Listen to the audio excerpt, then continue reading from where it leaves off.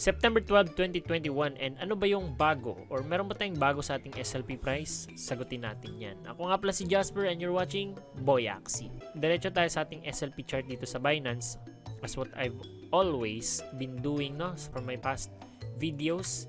So basically ito yung ating uh, na-discuss na indicator kahapon guys, itong descending triangle And sa ngayon, nag-continuate nga siya na mag-play out sa loob ng descending triangle and that's what our expectation and prediction kahapon.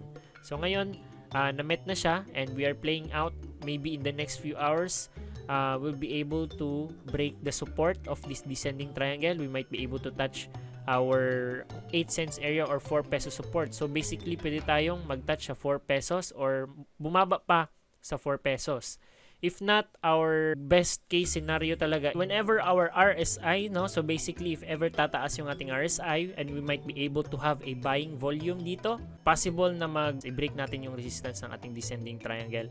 So we might be able to have a pump whenever we have a buying volume at this point. So yun yung uh, isa sa scenario na pwede mag-pump yung ating SLP whenever we have a big buying volume. So not that much update. So basically antayin pa natin if bababa ba yan or if tataas yung ating SLP price. So depende yan kung may volume na mangyayari. So yun yung dapat abangan nyo din guys. So sa Bitcoin price naman, uh, this is the mother or the father or the parent of all cryptocurrency. So basically if bababa yung Bitcoin, lahat ng nasa cryptocurrency bababa din.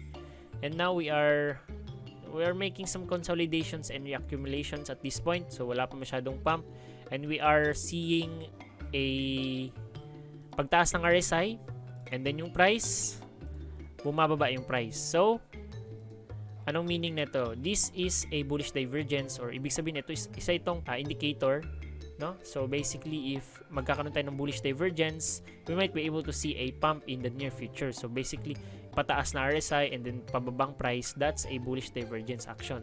So we might we might be able to flip bullish or mag ano tayo, magkaroon tayo ng pump sa ating Bitcoin and that pump will benefit all other coins and other cryptocurrency coins including SLP, AXS and lahat ng ibang coins. That's great news. And sa Axie World naman, uh, tingnan natin yung na-mint and na-burn. So, 49 million ang na-burn kahapon, na-mint 216 million. So, that's around 50 to 60 million in new SLP supply. So, that's better kumpara mo nung nakaraang week, nagwa 100 million tayo araw-araw eh.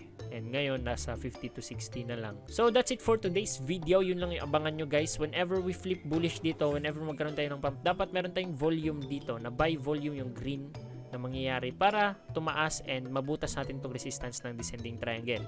Pero whenever we don't have that buy volume, we might be able to break our support dito sa descending triangle and possible na pumunta tayo sa 4 pesos or bumaba sa 3 pesos.